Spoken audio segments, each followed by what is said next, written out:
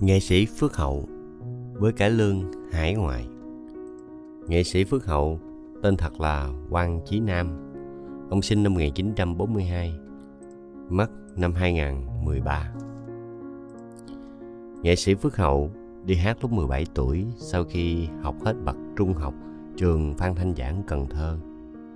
Từng tham gia trong ban văn nghệ Cần Thơ, đoạt giải huy chương vàng ba đệ nhất danh ca của Hậu Giang.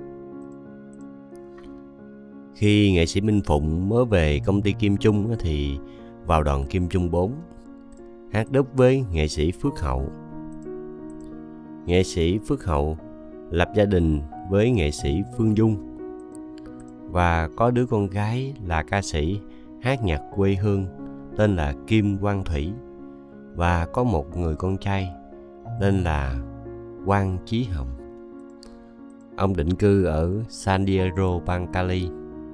Nghệ sĩ Phước Hậu từng là kép chánh của đoàn tiếng văn thủ đô của Bầu Hoài Nhân. Kế là đoàn thủ đô của Bầu Ba Bạn. Kép chánh Kim Trung, rồi Thanh Minh Thanh Nga, rồi Dạ Quang Châu, Hương Mùa Thu của Bầu Thu An. Kép chánh trong Hương Dạ Thảo của Phương Bình. Kim Trung 6, Sài Gòn 2, đoàn Thanh Nga, Sài Gòn 3, đoàn Phước Trung. Nghệ sĩ Phước Hậu được biết đến khi đoàn Kim Trung Ba được thành lập vào năm 1963 với Thanh Hải, Lệ Thủy là cặp đạo kép chánh. Khán giả Sài Gòn lúc đó rất là ngạc nhiên khi xem vở tuồng khai trương của đoàn đó là Bẻ bàn duyên mới của soạn giả Ngọc Văn.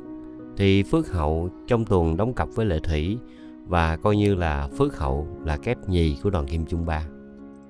Nghệ sĩ Phước Hậu nổi tiếng nhờ những tuần Bảo Dông Hương Rừng của đoàn thủ đô, Bẻ bàn duyên mới, Bảo Biển, Cánh nhạn chiều xuân, Người khách lạ. Khi hát cho đoàn Kim Trung 3, 4 và Kim Trung 6. Với đoàn Hương Mùa Thu á, qua các vở như là Gái Rừng Ma, Đêm Kinh Hoàng, từng diễn chung với hầu hết tất cả tên tuổi lớn thời sân khấu Hoàng Kim như là Úc Trợ Ôn, Hữu Phước, Úc Hiền, Úc Hậu, Minh Cảnh, Minh Vương, Thành Được, Tấn Tài, Lệ Thủy, Mỹ Châu, Thanh Nga, Thanh Sang, Ngọc Hương. Và ông được xem như là người thầy của nữ danh ca Phượng Liên. Nghệ sĩ Phượng Liên cho biết là Phượng Liên hồi nhỏ học rất là giỏi và cha của Phượng Liên không thích nghề ca hát vì tư tưởng là sướng ca vô lòi áp đặt. Thế nhưng bên cạnh việc học hành, Phượng Liên vẫn say mê ca hát nhưng lại ca nhạc. Cô tham gia ban nhạc Tây Đô cùng với nghệ sĩ Mộng Tiền, tức là Kim Liên, và hát rất là nhiều bài nhạc hay. Thế rồi một hôm, đang đùa giỡn trên đường cùng bạn bè, Phượng Liên ngâm vài câu vòng cổ trong vở tuồng Người vợ không bao giờ cưới của Thành Được Vũ Bạch Lan. Thế là được nghệ sĩ Phước Hậu phát hiện và nhất quyết theo đuổi tới tận nhà. Xin ba mẹ của cô để anh có thể dạy cho Phượng Liên hát vọng cổ. Nghệ sĩ Phước Hậu dường như là một trong những rất ít nghệ sĩ để lại nhiều vở, video quay live tại sân khấu nhất. Dù sân khấu đơn sơ nhưng làm ăn rất là bài bản. Nghệ sĩ hát hết mình và rất là nghiêm túc nên đã để lại nhiều tuồng có giá trị như là Chân nước lạc dương thành, Cô gái đồ long, Tiếng hạt trong trăng, Tâm sự loài chim biển, Gánh cỏ sông Hàn, Tô Ánh Nguyệt, Tiếng trống săn canh, Mắt em là bể hoang cù.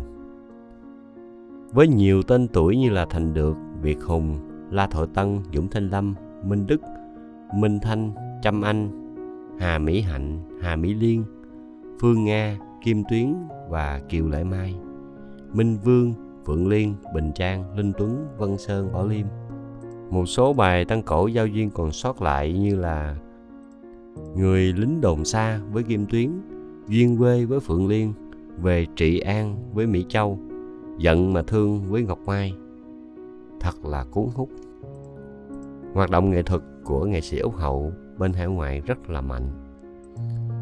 Và thật sự thì tất cả rất là nhiều tuần cải lương được quay video thì theo như quan sát của chủ kênh á thì nghệ sĩ Phước Hậu để lại rất là nhiều tuần ờ, cải lương quay ờ, video live trên sân khấu luôn nha quý vị.